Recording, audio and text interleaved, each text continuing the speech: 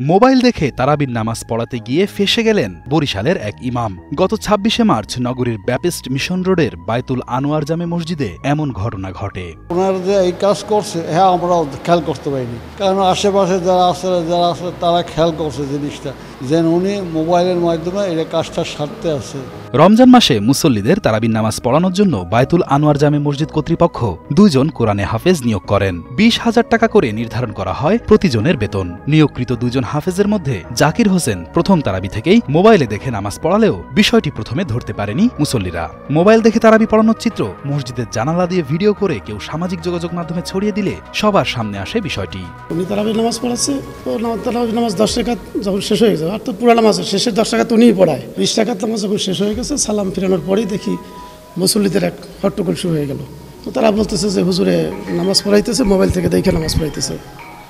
এরপরে প্রমাণ কি? তো বিশ পঁচিশ জনের ওভার হয়ে সবার মোবাইল থেকে অর্থাৎ এই ভিডিও যে তারাবির নামাজ পড়াইতেছে সেটা ভিডিও দেখাইতেছে আর কি। তৃতীয় তারাবির দিন প্রথম দশ রাকাত নামাজ আদায়কালে হাফেজ জাকির হোসেনকে মোবাইল দেখে কোরআন পড়তে দেখেন মুসল্লিরা।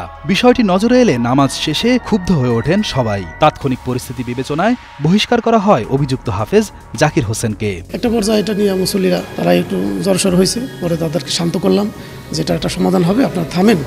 বাস্তব এটা নিয়ে একটা বৈশ্য সমাধান করব। যে হাফেজ নামাজ পড়াইছে ওনাকে এখান থেকে বহিষ্কার করা হয়েছে। এদিকে পবিত্র রমজান মাসে তারাবি নামাজ নিয়ে এমন অবহেলা ও হটকারিতায় ক্ষুব্ধ স্থানীয় মুসল্লিরা। ইসলাম এবং ধর্ম সম্বন্ধে যথেষ্ট বিবেচনা সম্পন্ন মানুষের এ ধরনের কর্মকাণ্ডে হতাশ তারা। কারণ ওনার কোরআন শরীফ পড়িয়ে তো ঠিক কি করা লাগবে। কিন্তু উনি যদি উল্টো পুল্টা করে, তারপর তো ঠিক হলো এই ঘটনার জেরে মসজিদের নিয়মিত ইমাম ফারুক হোসেনকে বাধ্যতামূলক ছুটিতে পাঠিয়েছে মসজিদ কমিটি। কোনো ধরনের যাচাই বাছাই ছাড়াই করে হাফেজ জাকির হোসেনকে নিয়োগ দিয়েছেন বলে অভিযোগ তার বিরুদ্ধে।